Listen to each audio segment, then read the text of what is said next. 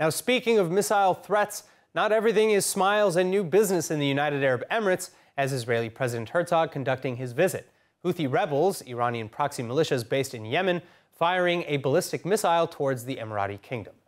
Israeli President Isaac Herzog finishing off his first day of a two day trip to the United Arab Emirates, meeting with de facto ruler Crown Prince Sheikh Mohammed bin Zayed Al Nahyan and the Emirates saying that they intercepted a ballistic missile on Sunday, allegedly launched by Houthi rebels in nearby country Yemen. The Emirati Ministry of Defense claiming to have destroyed the missile, though, preventing any damages and allowing its remnants to fall outside of populated areas. Additionally, the UAE launching a counterattack against the Houthi missile launch site in Al Jawf, Yemen, especially as this is the third such attack from Yemen towards the UAE in just the last two weeks.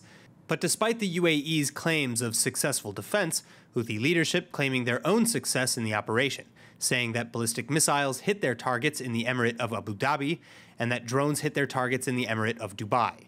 وقد حققت العملية بعون الله أهدافها بنجاح. إن القوات المسلحة اليمنية تؤكد أن دويلة العدو الإماراتي ستظل غير آمنة طالما استمرت أدوات العدو الإسرائيلي في أبو ظبي ودبي في شن العدوان على شعبنا وبلدنا العزيز Still, a senior Emirati official describing the attacks as well as the claims of their success as useless provocations, and neither Israeli nor Emirati leadership fazed by the attack, their meetings continuing as planned.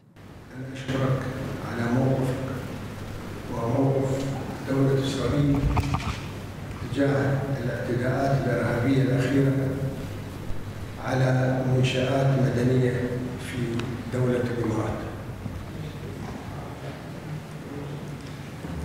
وهو موقف يجسد رؤيتنا المشتركة تجاه مصادر التهديد للاستقرار والسلام الإقليميين وفي مقدمتها الميليشيات والقوى الإرهابية. We support completely uh, your, uh, the, your security requirements and uh, we condemn uh, in all form and way and language any attack on your sovereignty by terrorist groups.